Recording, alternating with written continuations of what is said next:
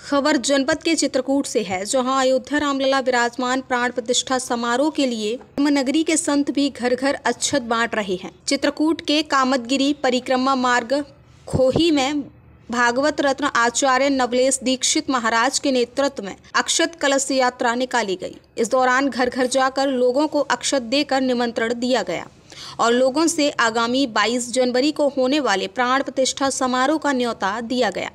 आचार्य नवलेश दीक्षित महाराज ने कहा कि वर्षों की प्रतीक्षा के बाद प्रभु श्री राम का मंदिर बनकर तैयार हो रहा है।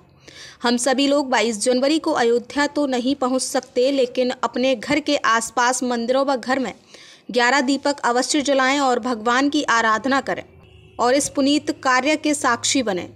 खोही प्रधान ने कहा कि सभी लोग प्रधानमंत्री नरेंद्र मोदी के आह्वान पर 11 जनवरी से आयोजित सफ़ाई अभियान में अपने आसपास के मंदिरों की सफ़ाई सहयोग करें।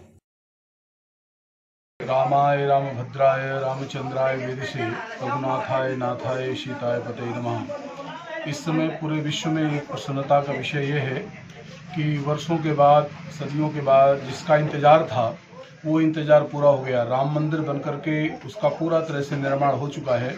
अब उस राम मंदिर में हमारे भगवान रामलला की प्रतिष्ठा होने जा रही है। 22 जनवरी 2024 में भगवान बाल रूप में विराजमान हो जाएँगे।